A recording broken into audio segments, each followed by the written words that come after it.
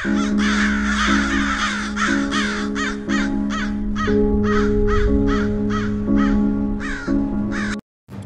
hukum terdakwa Richard Eliezer Pudihang Lumiu alias Baradae, Roni Talapesi, menyebut bahwa tuntutan hukuman bagi kliennya tak bisa disamakan dengan terdakwa lain, sebab seorang justice kolaborator dihargai. Roni mengatakan, figur Baradae tak bisa disamakan dengan terdakwa lain dalam kasus pembunuhan berencana Nofriansyah Yosua Huta Barat alias Brigadir J yang bisa menolak perintah terdakwa Ferdi Sambo selaku atasan sekaligus petinggi Polri. Pasalnya, Baradae yang sebelumnya merupakan anggota Korps Brimob tidak diajarkan untuk menolak atau menghindari perintah atasan melalui pendidikannya. Dalam menerima perintah dia tidak bisa menganalisis atau tidak bisa mengatur strategi, karena dia dididik seperti itu, kata Roni di program Breaking News, Kompas TV, Rabu tanggal 18 Januari tahun 2023, figur Baradae tak bisa disamakan dengan terdakwa lain dalam kasus pembunuhan berencana Nofriansyah Yosua Huta Barat alias Brigadir J yang bisa menolak perintah terdakwa Ferdi Sambo selaku atasan sekaligus petinggi Polri. Pasalnya, Baradae yang sebelumnya merupakan anggota Korps Brimob tidak diajarkan untuk menolak atau menghindari perintah atasan melalui pendidikannya. Dalam menerima perintah dia tidak bisa menganalisis atau tidak bisa mengatur strategi, karena dia dididik seperti itu, kata Roni di program Breaking News, Kompas TV, Rabu, tanggal 18 Januari tahun 2023. Ia juga menyadari bahwa sebagian orang menilai bahwa Richard Eliezer juga harus mendapatkan hukuman karena menembak Brigadir J pada tanggal 8 Juli tahun 2022, namun ia menekankan bahwa peristiwa tersebut tidak berdiri sendiri. Sebab, kata Roni, kliennya diperintah dan berada di bawah tekanan Ferdi Sambo.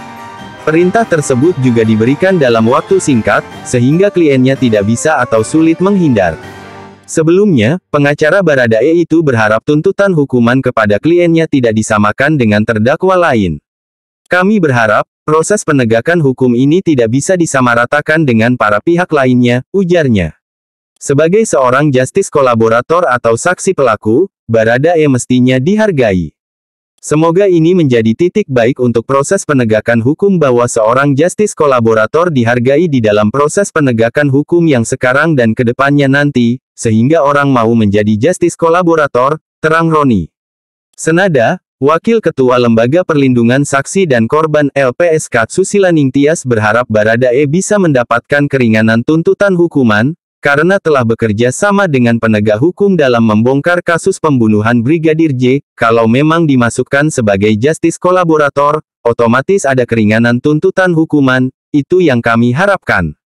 Intinya sih seperti itu, jelasnya, Rabu. Baca juga, Richard Eliezer didampingi Wakil Ketua LPSK dalam sidang tuntutan hari ini menurut Susi, Richard memiliki peran besar dalam pengungkapan fakta-fakta dalam kasus pembunuhan berencana Brigadir J sebagaimana telah diberitakan Kompas.tv sebelumnya bahwa hari ini, Rabu, 18 per 1, Baradae akan mengikuti sidang pembacaan tuntutan JPU. Tak hanya Baradae, terdakwa Putri Chandrawati juga akan mengikuti agenda yang sama di Pengadilan Negeri Jakarta Selatan. Tuntutan terhadap Richard Eliezer dan Putri Chandrawati akan digelar pada pukul 9.30 waktu Indonesia Barat di ruang utama Prof. H. Umar Seno Aji, SH.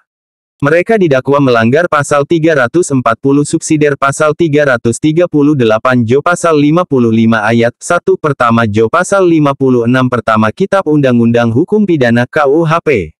Sebelumnya, JPU menuntut terdakwa Ferdi Sambo dengan hukuman maksimal yakni pidana seumur hidup, sedangkan terdakwa mereka didakwa melanggar pasal 340 subsidiar pasal 338 Jo pasal 55 ayat 1 pertama Jo pasal 56 pertama Kitab Undang-Undang Hukum Pidana KUHP. Sebelumnya, JPU menuntut terdakwa Ferdi Sambo dengan hukuman maksimal yakni pidana seumur hidup, Sedangkan terdakwa Kuat Maruf dan Riki Rizal Wibowo dituntut hukuman 8 tahun penjara.